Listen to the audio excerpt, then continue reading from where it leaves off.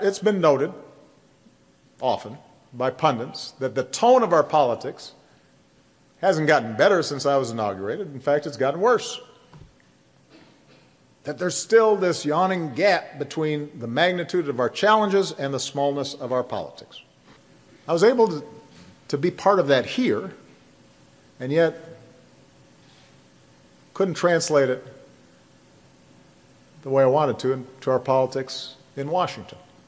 Our progress has never been inevitable. It must be fought for and won by all of us with the kind of patriotism that our fellow Illinoisan, Adlai Stevenson, once described not as a short, frenzied outburst of emotion, but the tranquil and steady dedication of a lifetime.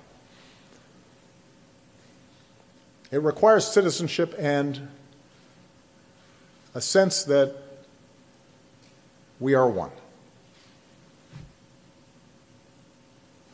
And today, that kind of citizenship is threatened by a poisonous political climate that pushes people away from participating in our public life. It turns folks off, it discourages them, it makes them cynical. And when that happens, more powerful and extreme voices fill the void. My point is the problem is not that politicians are worse, the problem is not that the issues are tougher. And so it's important for us to understand that the situation we find ourselves in today is not somehow unique or hopeless. We've always gone through periods when our democracy seems stuck.